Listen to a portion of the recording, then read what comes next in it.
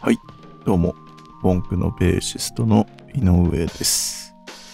えー本日はですね、ボンクが、えー曲を作る時の制作風景、制作している一日を写したフィーログとなります。えー絶賛今ね、制作中ですね。こう、新たが机に向かって、これ、新たハウスですね。新たハウス、新たスタジオで制作してます。えー、ウォンクの制作スタイルはですね、でみんなでこう集まって制作するときは、ここにこう、入れ替わり立ち替わり、メンバーが座って、おのおの自分がこうやりたい編集だったり、音入れだったりをこう、交換でしていくという、そういう制作方法をよくやりますね。なんで今、あなたはこう、えーサンプル、波形をこういろいろいじったりしてます。そして一段落ついたらこういう風にみんなでダラッとしながら喋ったりします。休憩タイムですね。まあ人間の集中力ってそんな持たないんで。ツイートの予約投稿はしないんですか？ん？俺？あ、それはしてないまだ。えっとね、確かに予約投稿した方がいいのか。うん。なんかね、適当にゆるいアニメを流しながら、えー見るわけでもなく、何をするわけでもなく、みんなでぼーっとしたりしてますね、休憩時間は。ケントはなんか仕事してるんですかね？あの、ケントはウェブ更新大臣なので、エピストロフのね、サイトだったり、ウォンクのサイトのウェブをこう更新する仕事があるので、それをやってるんですかね。はい。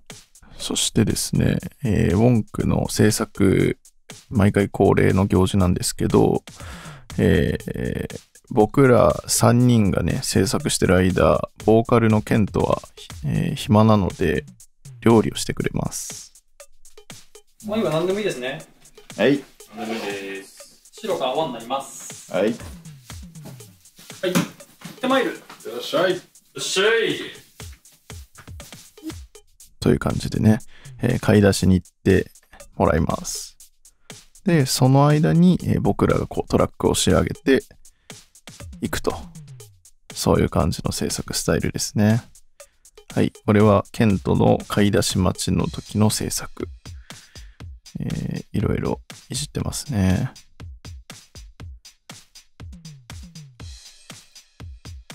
割とこのえー効率悪いように見えて、3人集まってこう、1人がパソコンいじるので効率悪いように見えて、なんだろう、みんなでこう意見しながら作業してるんで、進みが早かったりはするんですよね。バラバラでやるのもその良さがあるし、みんなで集まるとね、その良さがあるっていう。制作の方法でもね、曲、できる曲って全然変わってきますからね。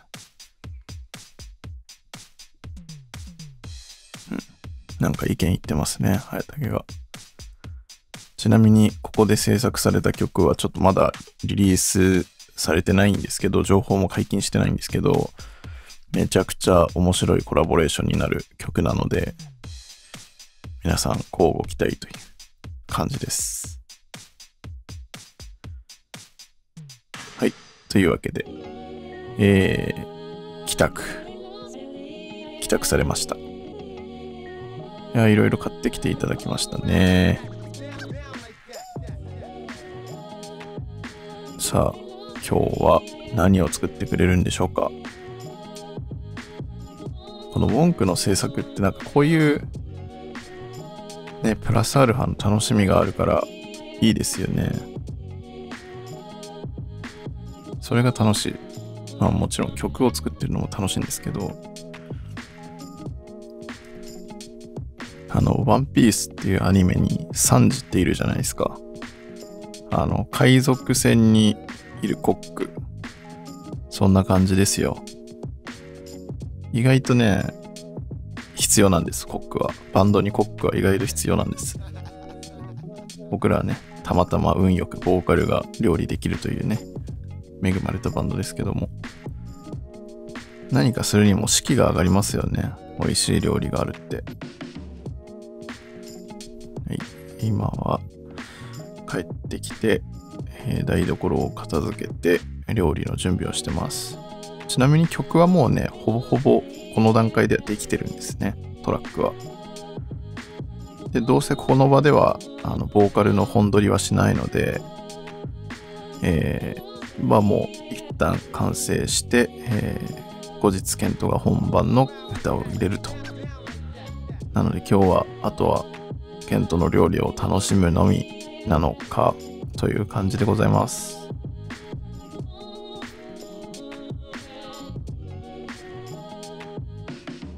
この、いいよね、このカウンターになってるキッチン。今日は何作るんですか？今日はカツオのたたきを使ったちょっとまあ和風っぽいカルパッチョ。もろみのお味噌とあとディルを使ったやつとあとは本当に和風っぽいまあポン酢とみょうがと大葉とみたいなうん。この2種類の味で作るのとあとは、えートマトかな？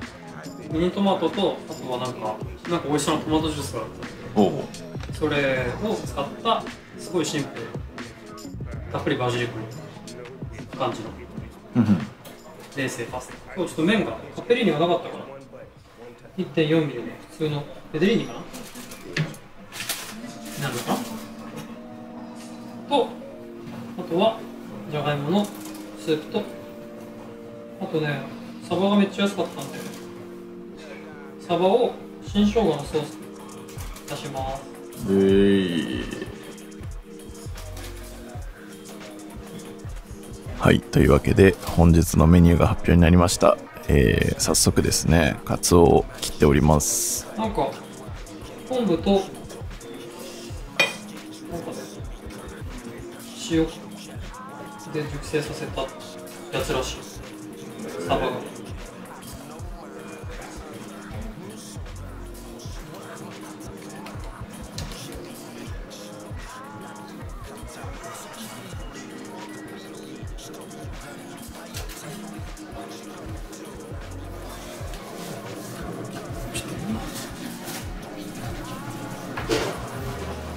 はい。いろんな食材が並んでますね。高まる。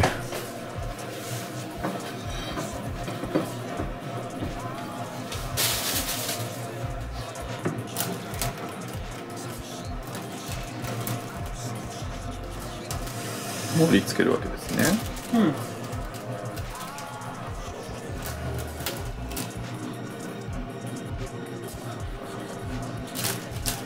ケントズキッチンと違ってこのウォンクで集まる時のケントの料理ってなんだろう。あのいい意味で大雑把というかなんつうんだろうな。まかない飯って感じがするんですよね。それがすごいあの外向きの料理じゃなくてすごい、うん、まかない感ある。それもねなんかね海賊船の中のコックって感じなんですよね。多分そんなまあ時間もね、限られてるし、ね、品数も短期間で作んなきゃと思ってね、多分そういう感じにしてると思うんですけどね。でもシンプルながらにめちゃくちゃ美味しいんですよね。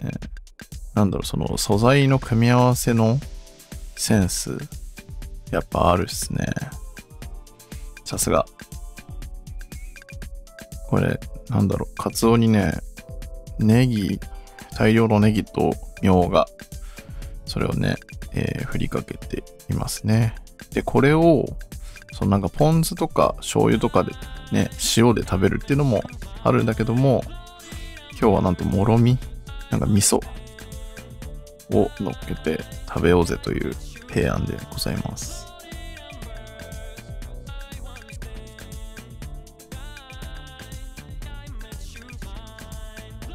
このね、手さばきも勉強になるよな。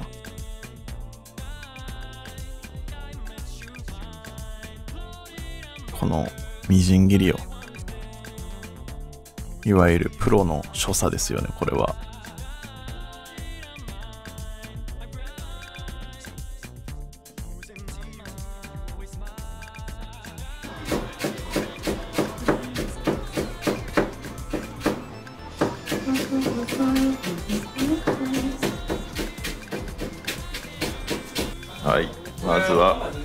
品目。これはカツオのたたき的な。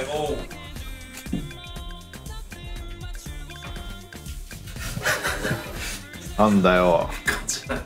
なんだよお前。俺とやるってのか。サイズ感がやばいんだよ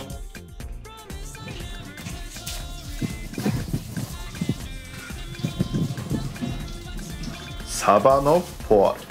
的な。的な的な。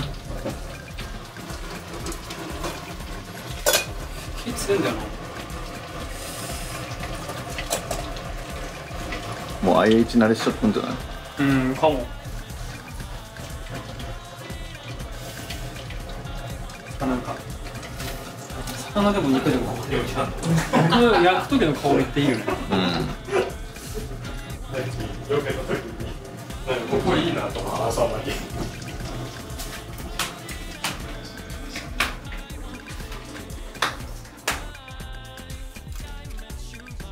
サバ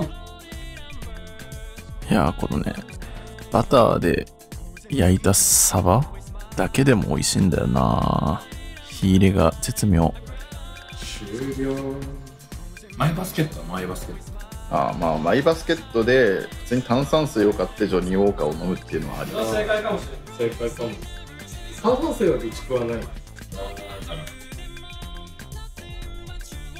てな感じでねウォンクの制作が終わった後はこうやってねヘンと長厚かの、えーまかない飯を食べると。そんな感じですね。いやー。まあいいバンドですねこれは。